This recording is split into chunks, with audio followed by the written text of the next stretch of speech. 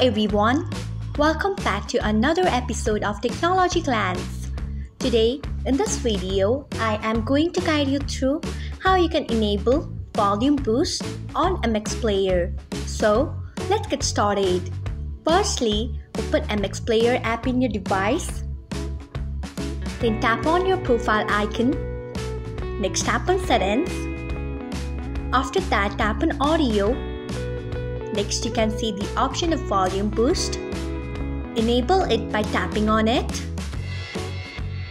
So, this is how you can enable volume boost on MX Player. Thanks for watching. If you found this guide helpful, we would love it if you hit the thumbs up button below.